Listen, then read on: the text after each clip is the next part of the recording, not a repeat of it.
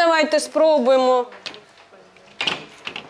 побудувати, наприклад, функцію y дорівнює 2 в степені х. У Дніпрі 4 вересня розпочали новий навчальний рік. Зі 154 шкіл міста, кажуть департаменті гумполітики, лише у 106 почався навчальний процес. Восьмикласник Ярослав та десятикласниця Ульяна, учні одного з міських ліцеїв, розповідають, хвилювались перед початком занять, але зараз у колі однокласників та вчителів почуваються добре.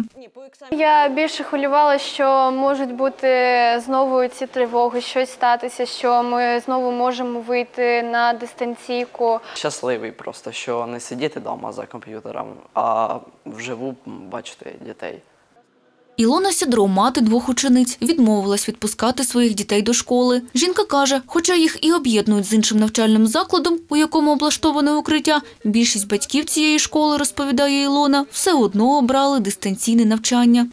Безпека головніша. Дітей до життя не повернеш, будівлі можна відбудувати. Я не знаю, як їх можуть згуртувати, опустити всіх, е, зокрема, перші четверті класи, коли дітки злякані. Це для мене це нереально. Злата Сідро, донька Ілона, розповідає, сумує за школою, але до вибору батьків поставилась з розумінням. Там однокласники, можна поспілкуватися, тебе не вибиває з уроків. Зараз війна, дуже страшно, якщо прилетить. В Олени Михайличенко четверо дітей, які ходять до школи. Жінка мешкає у будинку на перемозі, де російська ракета зруйнувала два під'їзди. Вона обрала змішану форму навчання. За її словами, це найкращий варіант з усіх можливих, оскільки діти будуть під постійним наглядом вчителів. Війна закінчиться перемогою, я сподіваюся, і країну треба буде відбудовувати. І потрібні будуть фахівці, інженери, лікарі, вчителі. І якщо діти будуть вчитись дистанційно, то якість освіти буде гірша. І не- неможливо навчити, наприклад, лікувати зуби через е, Zoom онлайн. Син Олени Микола цьогоріч пішов до п'ятого класу. Розповідає, втомився від дистанційного навчання. Зараз хлопчик радіє, що знову може бачитись з однокласниками та вчителями. Думаю, будут сирены, иногда будем ходить в укрытие. Не, мне не страшно, ни сирен, ничего, я уже привык.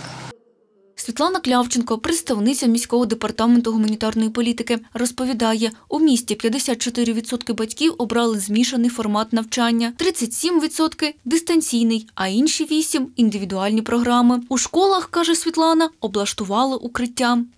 Там є, е, звісно, що засоби протипожежної безпеки, вогнегасники, автоматична система сигналізації протипожежна. Там є шансовий інструмент, там є е, питна вода, там є медичні аптечки, є е, освітлення. В наших укриттях є інтернет підведений, е, є мережа Wi-Fi. У подальшому керівництво шкіл у разі блекаутів готове коригувати освітній процес, кажуть у департаменті гуманітарної політики. Батьки за потреби можуть змінювати форму навчання їхньої дитини, а поки учні будуть позмінно ходити до навчальних закладів.